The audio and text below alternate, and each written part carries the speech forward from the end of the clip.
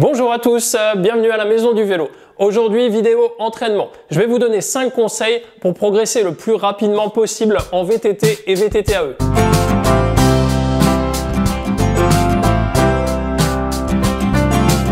Ces conseils seront valables quel que soit votre niveau et quelle que soit votre discipline de prédilection. Cross-country, all mountain, enduro, voire même DH, n'hésitez pas à vous en inspirer.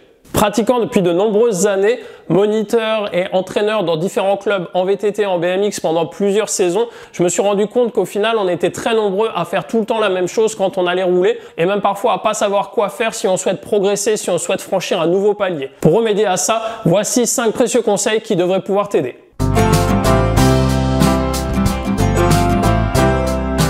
Point numéro 1, qui peut paraître très basique, mais qui va être peut-être le plus important, ça va être la position. C'est vraiment la base de tout. Le VTT, c'est quand même essentiellement une histoire de position. Si tu veux pouvoir passer vite, il faut être bien placé sur ton vélo, surtout si tu veux pouvoir passer vite et que ça se termine bien. Pour ne rien oublier, on va balayer la position de base en haut. On commence donc par les appuis sur les pédales, par la position de tes pieds. On voit trop de gens pédaler avec les talons ou les pieds complètement tournés vers l'extérieur.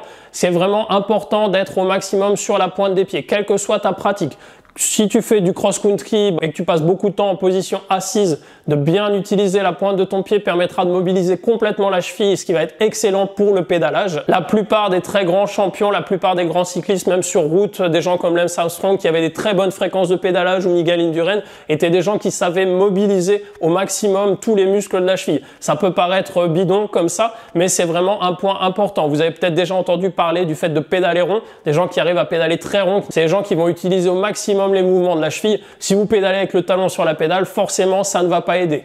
Quand vous êtes debout, c'est aussi très important d'être sur la pointe des pieds. Imaginez un boxeur ou un joueur de tennis, quand il veut être prêt, quand il veut être vif pour changer d'appui, pour partir à gauche, à droite, il est sur la pointe des pieds. Bah, en vélo, c'est pareil. Si vous êtes sur les talons, vous allez mettre du temps à réagir lors des changements d'angle, par exemple, pour tourner à gauche puis pour tourner à droite ou pour vous adapter s'il y a une racine ou des choses comme ça.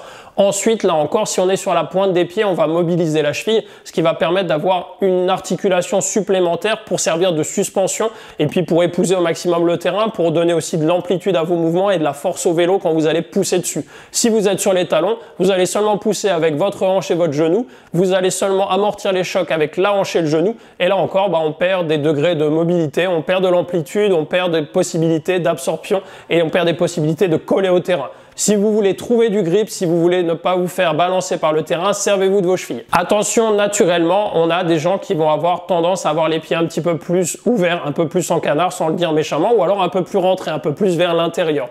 Il faut quand même respecter ça, surtout pour les pratiquants en cross-country qui vont passer euh, plusieurs heures dans la même position, en tout cas qui vont moins changer de position, par exemple, que les pratiquants en enduro ou en DH.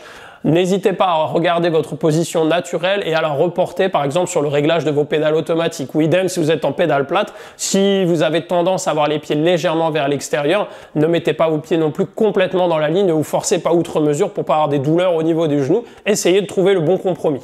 On remonte un peu et on passe au genou. Quand on pédale, forcément, les genoux dans l'axe, ça sera l'idéal pour avoir une bonne fréquence de pédalage et éviter tous les mouvements parasites, les genoux qui se baladent à gauche, à droite, tous ces gens que vous voyez sur la route, là, quand vous devez les doubler en voiture, qui font les concours de celui qui écarte le plus les genoux pour prendre 2 mètres avec le vélo, ça, ça ne sert exactement à rien en VTT. Donc, essayez d'avoir au maximum les genoux dans l'axe. Quand on est debout, ça change la donne. Essayez d'avoir quand même au maximum les genoux vers l'extérieur. Alors, pas trop en crapaud, mais le fait d'écarter un peu les genoux, ça va permettre de laisser travailler le vélo d'avoir une amplitude vraiment complète au niveau des jambes, parce que vous verrez qu'avoir les genoux vers l'intérieur et plier complètement les jambes, ça va être très très compliqué. Naturellement, hein, quand on se baisse sur le plan, on a tendance quand même à écarter plutôt les genoux si vous voulez venir vous asseoir sur vos talons.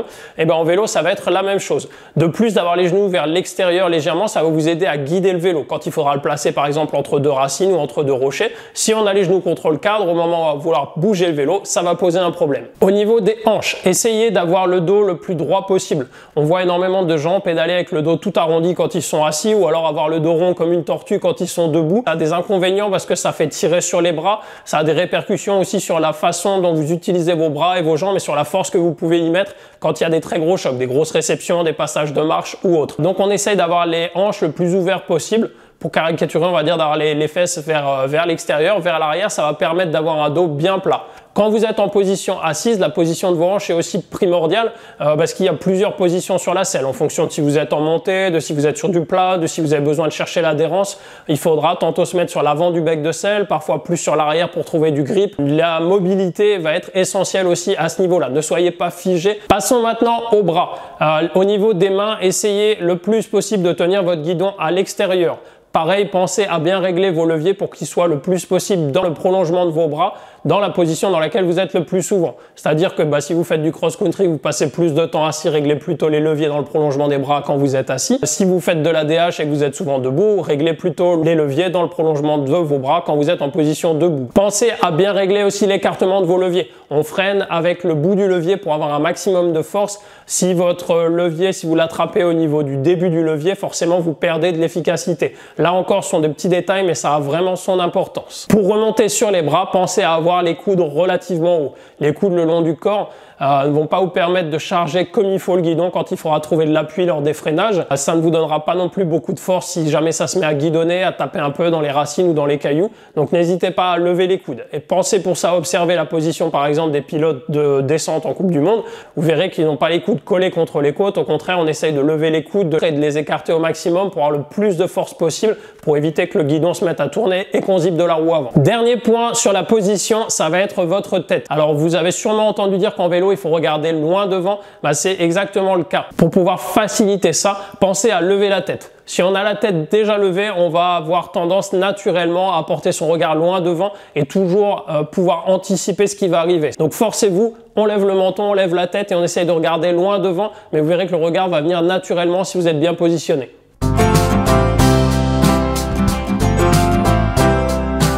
Le deuxième point à travailler si vous voulez progresser, ça va être l'équilibre. Et là-dessus, on fait quasiment tous la même chose. On a envie de rouler vite, on a envie de progresser et souvent on passe très peu de temps sur nos sorties à essayer d'améliorer l'équilibre en statique, à essayer de faire du surplace, à essayer de faire des déplacements avec le vélo. Je sais que c'est pas toujours le plus fun. N'hésitez pas à en faire quand même un petit peu à chaque fois. Ça peut être du très basique au départ. On essaye de tenir l'équilibre sur place, mais voilà, ça vous permet de bien sentir vos appuis, de sentir comment vous êtes posé sur le vélo, comment vous interagissez avec votre vélo. Et petit à petit, on peut complexifier le truc. Si vous avez déjà un bon rien n'empêche que pendant une montée relativement technique, on s'arrête en surplace et on essaye de repartir. Dans une montée un peu technique, j'essaye de m'arrêter à un endroit, de faire des déplacements un peu trialisants et de repartir sur une autre ligne. Dans une descente, j'essaye de me mettre en stoppie gentiment au départ pour pas voler par-dessus le guidon. Et petit à petit, j'essaye d'augmenter de le faire sur une plus longue distance ou le faire deux ou trois fois dans la descente pour commencer à sentir le truc. Ne négligez pas l'équilibre. Pendant mes années de moniteur, les pratiquants que j'ai vu progresser le plus rapidement, c'était à chaque fois soit des trialistes, soit des gens qui étaient des, on va dire des trialistes qui s'ignorent, mais des, des personnes qui avaient un très très bon niveau en équilibre, en trial, en statique sur le vélo.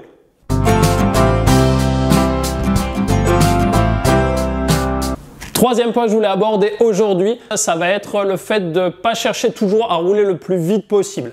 Alors je sais qu'on est tous pareils, pour nous l'idée de, de, progrès, ça va être l'idée de passer plus vite que la semaine d'avant. En réalité, ça va être un peu plus complexe que ça.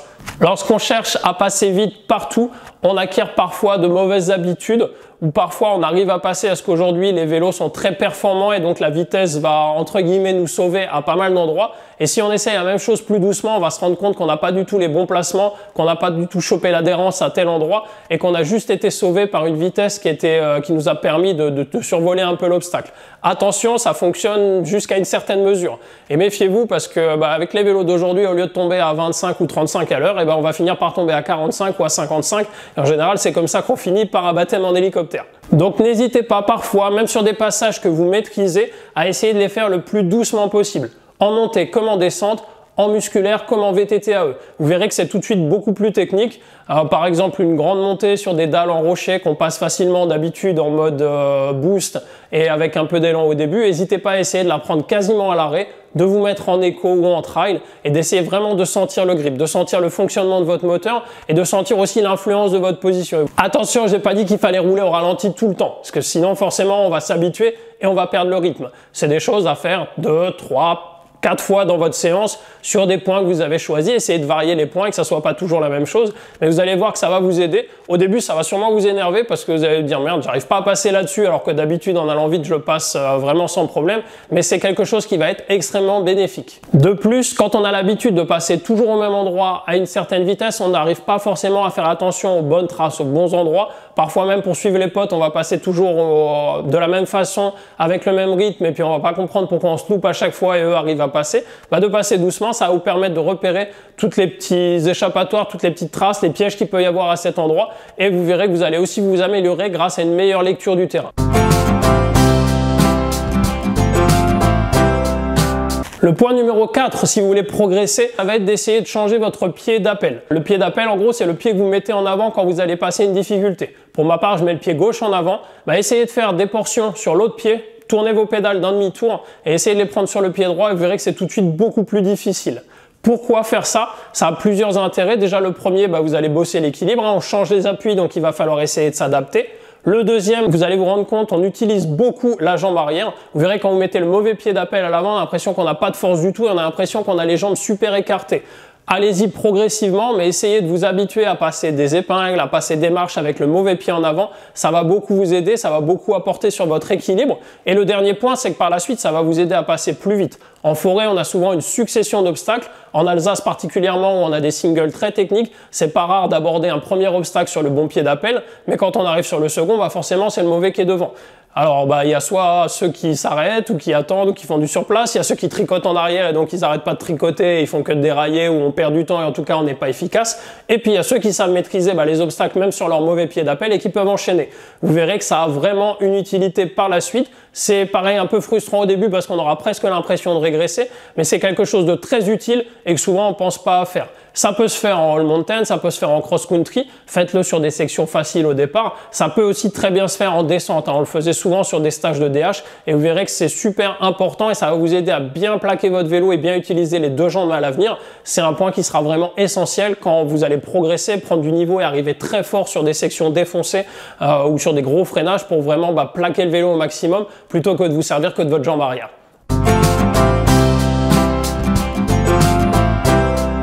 Le cinquième et dernier point, si vous souhaitez progresser au maximum, mais celui qui va être peut-être le plus important, ça va être de varier vos sorties. Alors attention, la variation va pouvoir concerner tout un tas de paramètres. Déjà, les paramètres, on va dire, d'organisation de la sortie ou extérieur à la sortie.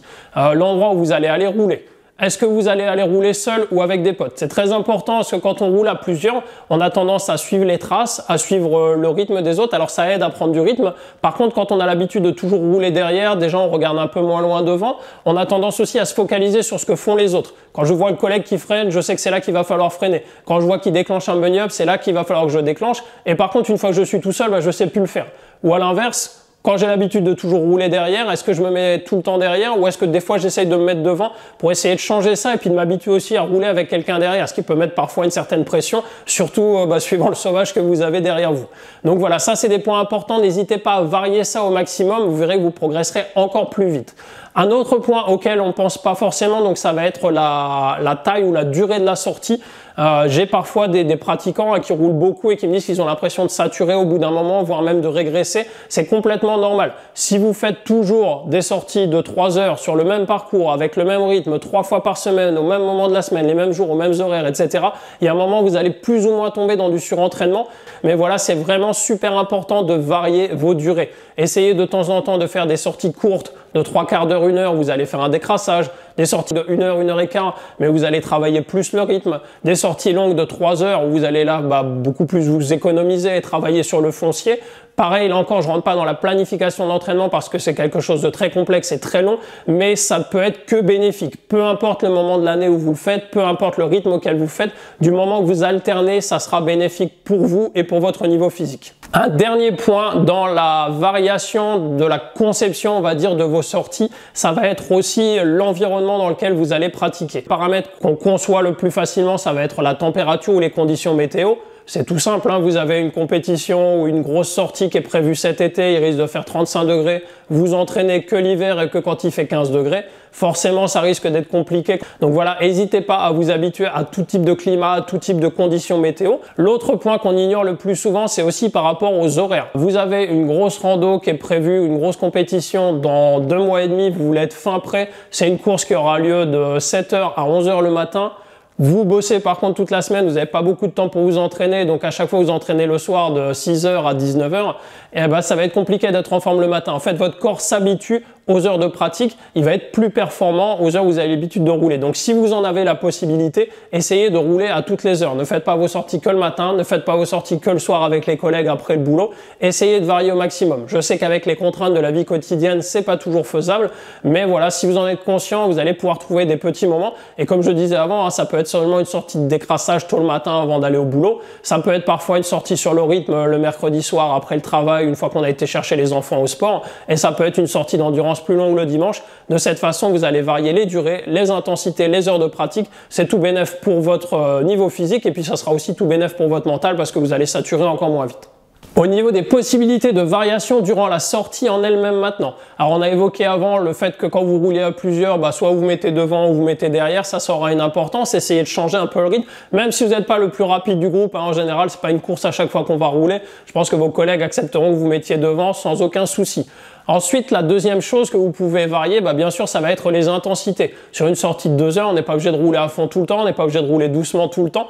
Euh, on peut aussi se fixer hein, des, créneaux où on va forcer un peu plus, faire bah, ce qu'on appelle du fractionné, même sans rentrer dans quelque chose de très très scolaire. Mais voilà, se dire qu'au bout de 10 minutes, quand on commence à être chaud, si on sait qu'il y a une montée par exemple de 30 secondes, faire se monter à fond et après se forcer à ne pas s'arrêter mais récupérer très gentiment en tournant les jambes pendant 2 minutes, 3 minutes. Et si encore une autre montée derrière, accélérer encore un peu plus. Plus vous allez varier le rythme, plus vous allez progresser physiquement et moins vous allez risquer de saturer. Attention, ne faites pas tout le temps la même chose. On l'imagine pas, mais on pense que bah voilà, on peut même faire du, du, fractionné que sur les parties techniques. N'hésitez pas à mettre à bon escient les liaisons. Si vous faites de l'enduro, les liaisons c'est toujours un peu chiant. Il y a tout un tas de choses qu'on peut faire pendant les liaisons.